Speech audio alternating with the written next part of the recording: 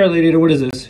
Okay, so I'm taking a pause from the floppy stuff, but for a good reason. Um, this is an Odroid Go. This is a really cool, um, like portable, you know, Game Boy like emulator that had an ESP32 WROVER in it, and it could load cards off an SD card. And like, there's a bunch of emulators written for it, like uh, Nofrendo, NES, uh, GNU Boy, Game Boy, Sega, etc., etc. Um, I still have one of these. They're not made anymore, unfortunately, but this was really cool. Actually, it was a, it was a really great little emulator. But what's nice is that I wanted to try to port um, the emulator itself to the ESP32 Pico so I can make like a really cute little gaming thing. This is my prototype. And you can see um, I got the TFT initialization like not quite right, but I do have TFT on there.